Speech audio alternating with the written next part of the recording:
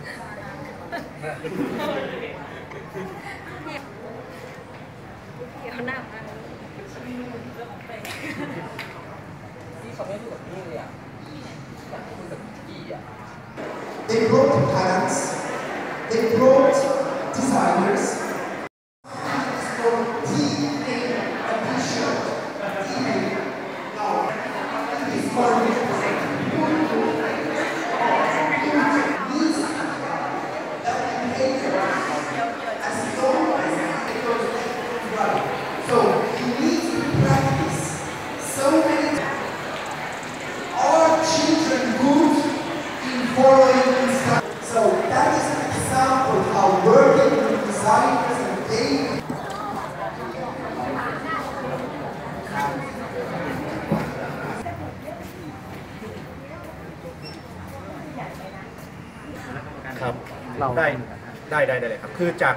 จากเรียกว่าความสำเร็จที่เราได้รับนะครับ จากโครงการในเฟสที่หนึ่งเนี่ย เราก็เลยมีการพูดคุยกันทั้งสามฝ่ายแล้วก็หน่วยงานนั้นครับทั้งทางที่เป็นวิชาวิทยาศาสตร์ และเทคนิคของทางมหาวิทยาลัยเองนะครับจากเอ่อข้อมูลกับทางสำนักงานนวัตกรรมแห่งชาตินะครับแล้วก็ทางหองการค้าจังหวัดเชียงใหม่แล้วก็หองการค้าจังหวัดอื่นในทางภาคเหนือเนี่ยเราก็เลยคิดว่าเราจะมีการทำในเฟสที่สองต่อ โดยสิ่งที่ในการทำในเฟสที่สองนั้น ก็จะเป็นการเน้นการสร้างผู้ประกอบการใหม่ ที่เราเรียกว่าเป็นสตาร์ทอัพขึ้นมานะครับที่มีศักยภาพสูงมากในการเติบโตในทางภาคเหนือเนี่ย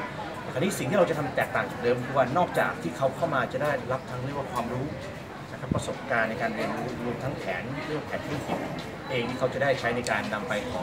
ขอแหล่งทุนต่างๆโดยเฉพาะแหล่งทุนหลักอย่างทางสำนักงานแห่งชาติต่างๆนะครับแล้วก็คนที่เข้ามานี่นก็จะเป็นทางสมาชิกทางหอการค้ากลุ่มวันซีก็ถือด้วยเหมือนกันนะครับเราจะมีการเน้นในการที่จะให้เขานำวิชาและเทคโนโลยีและนวัตกรรมนะครับที่อยู่ในมหาลัยเนี่ย มาใช้ในการทำธุรกิจมากขึ้น หมายความว่าเวลาเขาจบออกไปแล้ว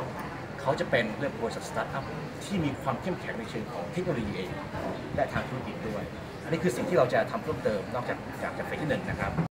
สองวันนะครับแต่ละสัปดาห์ก็จะมีวิทยากรที่เป็นกูรูในด้านสตาร์ทอัพนะครับกูรูเรื่องของ business plan นะครับรวมไปถึงเอ่ออุทยานวิทยาศาสตร์เองก็เป็น backup ในเรื่องของวิทยาศาสตร์12ทีมเนี้ยมา pitching เงินกับสำนักงานนวัตกรรมแห่งชาติ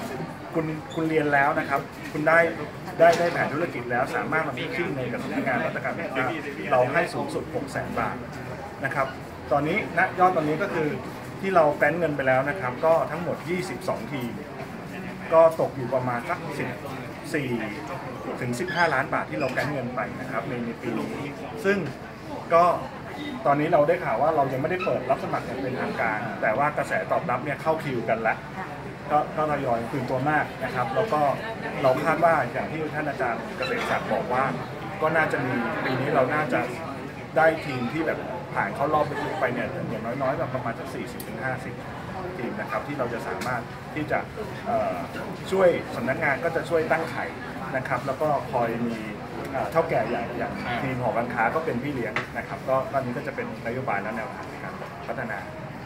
สตาร์ทอัพเราคาดหวังต่อ volume จากตัวนี้นะครับ ก็อย่างที่บอกก็คือสตาร์ทอัพก็คือ 1 ต่อ 5 เพราะฉะนั้นเนี่ยเราก็คาดหวังว่าประมาณสัก 5-10 เท่าที่เติบโตครับถ้า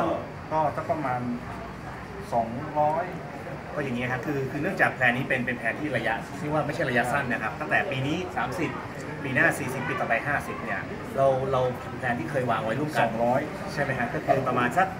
สองสองสองร้อยลายรวมกัน200ลายนะฮะที่ที่เกิดขึ้นภายใน4-5ปีนี้มูลค่าทางกิจเราวางไว้มันก็ขั้นต่ำก็สัก2,000ล้านบาทนะครับในอนาคตที่เกิดขึ้นเลสเซว่า